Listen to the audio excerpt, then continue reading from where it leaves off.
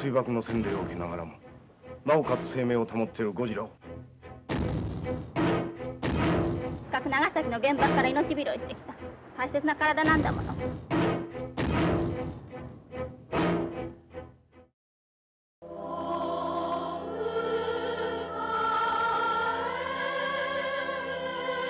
お父さんに了解してもらおうと思う。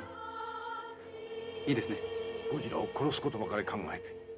だけどもしもよ。もしもそれが恐ろしい目的に使用されたとしたら。ああこんなことさえ作らなきゃ。